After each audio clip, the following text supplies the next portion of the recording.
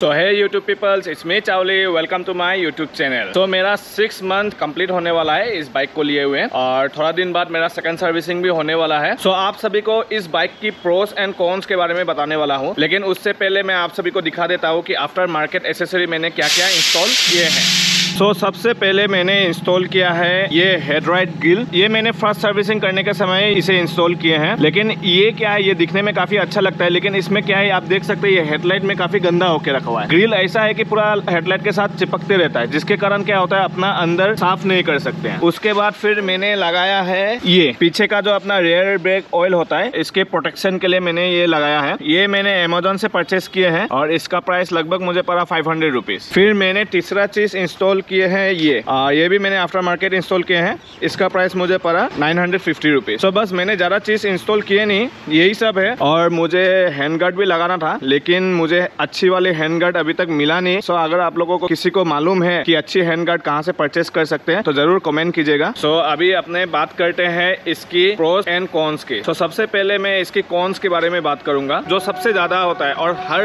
लोग को ये परेशानी झेलना पड़ रहा है जिन जिन्होंने एस एडवेंचर बाइक ली है। सो एस एडवेंचर की नंबर वन कौन? जो मैंने बाइक लेने के तीन दिन बाद ही मुझे दिखने को मिला, वो हो गया रस्टिंग इशू रस्टिंग इशू इस बाइक में इतना ज़्यादा है, इतना ज़्यादा है कि मैंने बाइक लेते थ्री डेज़ में रस्टिंग हो गया। और फ़र्स्ट सर्विसिंग जब करने गया था, तभी मैंने उन लोग को दिखाया भी था। आप लोगों ने अगर मेरा फ़र्स्ट सर्विसिंग वाला वीडियो देखे हैं तो उसमें मैंने बताया था कि रस्टिंग का इशू है और उन लोगों ने स्प्रे करके दिए थे। हालाँकि स्प्रे परमानेंट होता नहीं है। अगर उस जगह स्प्रे कर दिए है, लेकिन दूसरा जगह भी है रस्टिंग तो मैं दिखा देता हूँ, अभी मेरा कहाँ कहाँ रास्टिंग हो रहा है। वो नीचे जो जगह पे रस्टिंग था पहले उसमें तो ऑलरेडी स्प्रे करने के कारण अभी रस्टिंग नहीं हो रहा है उधर। लेकिन अभी जो दूसरी जगह पे हो रहा है मैं वो आप लोग को दिखाता हूँ। सो so, ये देखिए आप देख सकते हैं इधर साइलेंसर के अंदर रस्टिंग हो रहा है। फिर ये यहाँ पे भी रस्टिंग हो रहा है।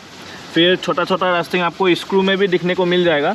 जैसे ये देखे इधर स्क्रू में रस्टिंग हो रहा है। फिर उस तरफ़ भी है। तो ये देखे इधर भी रस्टिंग है। फिर आप देख सकते हैं इधर सॉक एब्जॉर्बर वाला स्क्रू में भी रस्टिंग हो रहा है। सो so, रस्टिंग मतलब हर जगह है। जैसे आप इधर भी देख सकते हैं ये जो अपना नंबर होता है इधर भी रस्टिंग हो रहा है। सो so, रस्टिंग तो एस डी एडवेंचर में है। कंपनी वाले को बोल भी दिए तभी भी वो लोग कोई एक्शन नहीं ले रहे इसके ऊपर में। तो so, इसकी सेकेंड कौन जो है वो है heating issue heating issue actual में राइट लेग के तरफ़ ज़्यादातर हीटिंग इशू होता है। लेफ़्ट लेग के तरफ़ मुझे कभी हीटिंग फील हुआ नहीं। राइट लेग में इसलिए इतना हीट होता है क्योंकि ये जो फ़ैन है, ये फ़ैन क्या होता है? जब अपना इंजन हीट होता है तो ये फ़ैन चलने लगता है। फिर ये फ़ैन चलने के बाद क्या होता है? ये इधर से हवा छोड़ता है। अपना जो राइट लेग है, ये टोटली साइलेंसर के ऊपर है। ऊपर से ये होता है अपना साइलेंसर गर्म। और साइलेंसर इतना नज़दीक होने के कारण पूरा हीट ये यहाँ पे अपने राइट लेग पे लगता है। लेकिन इस बाइक में आपको हीटिंग इशू ज़्यादातर सिटी में देखने को मिलता है। मैंने सिटी में ही ज़्यादातर ये फेस किया ये प्रॉब्लम हाईवे में इतना हीट होता नहीं है। जब आप रेगुलर चलाते जाएँगे एक नॉर्मल स्पीड में तो उतना हीट होता नहीं है। लेकिन सिटी में क्या होता है, अपने को बार बार गेयर अप एंड डाउन करना पड़ता है बार बार क्लच दबाना पड़ता है बार बार थ्रोटल देते रहना पड़ता है। तो उसके कारण क्या होता है हीटिंग ज़्यादा होता है। और मैंने ये प्रॉब्लम सिर्फ़ सिटी में ही फेस किए है। सो हाईवे के लिए बेस्ट है। हाईवे में आपको कोई प्रॉब्लम होगा नहीं। लेकिन हाँ जैसे फ़र्स्ट सर्विसिंग नहीं करने के पहले इसका हीटिंग इशू थोड़ा ज़्यादा था, लेकिन फ़र्स्ट सर्विसिंग करने के बाद थोड़ा सा कम हुआ है। तो देखते हैं अभी अगर सेकंड सर्विसिंग होने के बाद शायद और कम होता है क्या? अगर कम होता है तो इसके बारे में भी मैं बताऊँगा। तो मुझे लग रहा है की सेकंड सर्विसिंग के बाद भी और हीटिंग इशू कम होगा। और अभी इसका थर्ड कौन से? विन ब्लस इस बाइक में विन ब्लस काफ़ी ज़्यादा होता है। मैं आप सबको दिखाता हूँ क्यों विन ब्लस ज़्यादा होता है। जैसे आप देखिए, जैसे मैं यहाँ पे बैठता हूँ तो ये जो अपना विंड स्क्रीन है, ये क्या करता है? हेलमेट अपना लगा के रखते हैं। विंड स्क्रीन क्या करता है? जब अपना चलाते हैं तो जब विंड आता है, वो विंड क्या करता है? यहाँ से डायरेक्ट यहाँ पे हिट करके डायरेक्ट अपने आँख पे लगता है। विदाउट हेलमेट मैंने इसको चला के देखा था। मुझे काफ़ी तकलीफ़ हुआ चलाने में। डायरेक्ट यार जो है अपने आँख पे लगता है, जिसके कारण सामने का विजन क्लियर नहीं होता है। तो हेलमेट लगाने से भी अपने को क्या है? ग्लास बंद करके चलाना पड़ता है। तो इसका सोल्यूशन है कि एक विंड राइजर आपको लगाना पड़ेगा। इसके बाद अपना फोर्ट कौन से है तो फोर्थ कौन जो है इसके कनेक्टिविटी के ऊपर। तो इसका कनेक्टिविटी जैसे मैंने आप सबको दिखाया था ब्लूटूथ कनेक्टिविटी इसका सबसे बेकार सिस्टम मुझे लगा इस बाइक में। देने का और नहीं देने का मुझे कुछ समझ में नहीं आया। क्योंकि इसमें जैसे मैंने आप लोग को दिखाया भी था ब्लूटूथ कनेक्टिविटी का वीडियो मैंने बनाया था, उसमें मुझे प्रॉब्लम हो रहा था। और सेकेंड टाइम मैंने विदाउट वीडियो भी बनाया तो उसमें क्या होता है जैसे कनेक्ट हो जाता है लेकिन अगर अपना मोबाइल पॉकेट में डाल देते हैं तो फाइव मिनट्स के बाद वो क्या होता है वो अपने आप नो सिग्नल दिखाने लगता है। तो ब्लूटूथ कनेक्टिविटी में फ़ोन कॉल और मैसेज के लिए तो बेस्ट है लेकिन लोकेशन के लिए वो बेस्ट है नहीं। शायद सॉफ्टवेयर अपडेट या फिर अपने ऑडोमीटर में कुछ अपडेट करके उसे ठीक कर सकते हैं। और अभी फिफ्थ कॉन्स जो मुझे बाइक लेने का समय लगा वो है बाइक की फिनिशिंग सो so, जैसे देखिए आपने जो क्रेस गार्ड लगाए हैं इसका फिनिशिंग देखिए इतना बढ़िया तरह से है नहीं। इधर भी आप देख सकते हैं, ऐसे लगता है वेल्डिंग किए हैं वेल्डिंग करके बस पेंट करके छोड़ दिए फिनिशिंग किए नहीं। सारी गार्ड में भी है, ये सब का फिनिशिंग है नहीं। ये देखिए, ये सब में फिनिशिंग है नहीं। और ये जो है ना, ये मेरा एक बार गिर गया था। सो ये क्या होता है, ये ऐसा अगर अपना पुल कर दे तो ये निकल जाता है। देखिए, जैसे ये मैं पुल कर रहा हूँ तो ये निकल जाता है। और ये अगर निकल जाता है तो देखिए, इधर अंदर भी रास्टिंग का इशू है, इधर भी है। तो ये इस तरह निकल जाता है। तो ये मेरा एक बार निकल के गिर गया था। फिर आप ये इंजन में भी देख सकते हैं। ये ये जो इंजन का सिल्वर पार्ट है इसका भी फिनिशिंग है नहीं। ये आप अगर इस तरह उंगली लगा के देखेगा ये ज़्यादा शार्प। जैसे अगर अपना उंगली यहाँ पे ज़ोर से घसे तो यहाँ पे उंगली कट जाएगा। तो इधर का भी फिनिशिंग एकदम रफ है स्मूथ फिनिशिंग है नहीं। सो so, वाले बिल क्वालिटी में थोड़ा उनको ध्यान देना चाहिए था। बिल क्वालिटी इससे और बेटर हो सकता था। सो सिक्स नंबर कौन मुझे ये लगा इस बाइक में इस बाइक का टॉप स्पीड जैसे मैंने एक महीने पहले गुवाहाटी टू सिलोनीजान ट्रेवल किए थे तो उसमें मैंने मेरे पापा के साथ ट्रेवल किए थे। तो ट्रेवल करने के समय जैसे मैं स्ट्रेट हाईवे में फुल रेप कर रहा था तो इसका टॉप स्पीड मुझे ओनली 125 किलोमीटर पर आवर दे रहा था। और टॉप स्पीड के साथ इसमें क्या हुआ? और एक बर्निंग स्मेल सा आने लगा। शायद ये प्रॉब्लम मेरे बाइक में है। मुझे लगता नहीं कि, कि 350 सीसी अप्रोक्स 150 160 किलोमीटर स्पीड तो देना चाहिए लेकिन मुझे 125 126 हार्डली टॉप स्पीड मेरा जा रहा था 125 126 टॉप स्पीड करने के समय जो बर्निंग स्मेल आ रहा था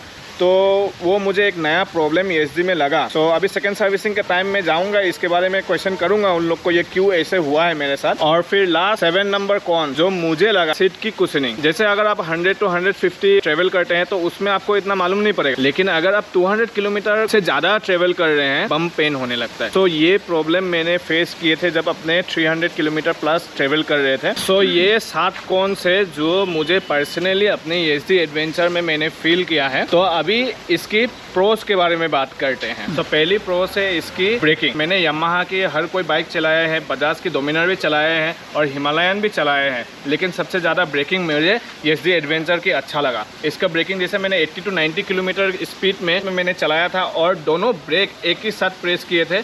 थोड़ी से आगे जाके रुक गया था तो इसका ब्रेकिंग मुझे सबसे ज़्यादा अच्छा लगता है। अभी इसकी सेकेंड प्रोस के बारे में बात करते हैं। इसकी सेकेंड प्रोस है राइडिंग कंफर्ट इसकी राइडिंग कंफर्ट काफ़ी बेस्ट मुझे लगा। जैसे मैं आप सबको दिखाता हूँ, ये राइडिंग कंफर्ट जब अपने बैठते हैं तो अपना बैग जो होता है, वो फुल्ली स्ट्रेट रहता है। फिर अपना जो लेग होता है लेग भी ये फुल्ली स्ट्रेट रहता है। और फिर अपना जो आर्म्स होता है आर्म्स भी फुल्ली स्ट्रेट होने के कारण क्या होता है, आप जितने भी लॉन्ग राइड आप करेंगे, उतना आपको कंफर्ट देता है। तो इस बाइक में जैसे मैंने अभी तक 500 किलोमीटर चलाए हैं तो 500 किलोमीटर में मुझे कोई प्रॉब्लम आया नहीं राइडिंग करते वक्त। और अपने थर्ड कोर्स है इसकी सस्पेंशन इसकी सस्पेंशन काफ़ी बेस्ट है। इसका सस्पेंशन का मैं एक स्टोरी बताना चाहता हूँ। मैंने बाइक परचेस करने के दो महीने बाद आ, मेरा पापा का बैकबोन पेन हुआ था जिसके कारण मुझे पापा को डॉक्टर के पास लेके जाना पड़ा। तो मेरे पास अपनी पल्सर है तो पल्सर में पापा को मैं बिठा नहीं सकता था क्योंकि पल्सर का जो स्प्रिंग होता है वो छोटे से गड्ढे में भी जाने से पीछे जो पिलियन बेचते हैं उनको प्रेशर पड़ता है। तो मैंने सोचा एच डी एडवेंचर में लेके जाने के। तो मैंने जैसे एच डी एडवेंचर में मैंने उनको लेके गया तो लेके जाने के बाद हॉस्पिटल जब अपना पहुँचे तो पापा को मैंने पूछा कि पीछे आपको कुछ भी जर्क फील किए, कुछ भी आपको बैकबोन पेन हुआ कि नहीं तो पापा ने बोला कि हल्का सा भी उनको बैकबोन पेन हुआ ही नहीं। तो कंफर्ट के मामले में पिलियन के लिए राइडर के लिए बेस्ट है। और चौथा प्रोस है इसकी मोड इसकी तीन मोड आता है रोड मोड रेन मोड और ऑफ़ रोड मोड तीनों मोड काफ़ी बेस्ट परफॉर्म करता है। मैं हल्की सी डिटेल्स बता देता हूँ। रोड मोड में दोनों एवीएस वर्क करता है। रेन मोड में आपका दोनों एवीएस थोड़ा कम वर्क करता है ताकि आप अगर रेन के समय इजीली प्रेस करें तो वो इजीली पकड़ता नहीं है, वो हल्के से पकड़ता है और हल्के से पकड़ता है ताकि आप स्लिप ना करें। और third mode off road mode में आपका बैक का एवीएस टोटली खुल जाता है और आप उसका मज़ा ले सकते हैं ऑफ़ रोडिंग में ड्रिफ्टिंग करने के लिए। तो ये तीन मोड इसमें एजी एडवेंचर में मुझे काफ़ी बेस्ट लगा। पांचवा प्रो से इसकी परफॉर्मेंस परफॉर्मेंस इसका बहुत ज़बरदस्त परफॉर्मेंस है। काफ़ी इजीली ये आपको कहीं पे भी पहुँचा सकता है। मैंने ऑफ़ रोड भी चलाए हैं हाईवे टूर भी किया है, पापा को भी लेके चलाया है। पीछे मैंने नियरली अबाउट फिफ्टी के का सामान रख के भी मैंने चलाया है। तो परफॉर्मेंस इसकी काफ़ी बेस्ट है। परफॉर्मेंस के लिए तो मैं इसे थम्सअप देता हूँ। और इसकी छठवा प्रोस है, इसकी ट्रोटल इसकी टोटल काफ़ी मस्त है। जैसे आप एक दो नंबर गाड़ी पे चला रहे हैं, जैसे आपको मान लीजिए कोई एक गाड़ी को क्रॉस करना है, आपको ओवरटेक करना है, आप जस्ट टोटल कीजिए, आपकी बाइक उसे ओवरटेक कर लेगा। तो इसका पिकअप दो तीन नंबर गेयर पे काफ़ी मस्त देता है। इसका थ्रोटल रेस्पॉन्स काफ़ी मस्त है। दो नंबर और तीन नंबर गेयर में। यह हुआ मेरा पर्सनली प्रोस एंड कॉन्स के बारे में मैंने इसमें बताया। हालाँकि मैं छः महीना ही हुआ है चलाते हुए इस बाइक को। ये छः महीना में मैं अगर बता दूँ कि मुझे पूरी बाइक के बारे में जानकारी हो गया तो ये मैं टोटली रॉन्ग होगा उसके लिए। तो अभी रात भी हो चुका है। तो इस वीडियो को यहीं पे रख देते हैं। तो अगर इस वीडियो को देख के आपको इन्फॉर्मेटिव लगा तो प्लीज़ हिट लाइक्स और चैनल को सब्सक्राइब कर दीजिएगा। तब तक के लिए take care ride safe and say no to no drugs.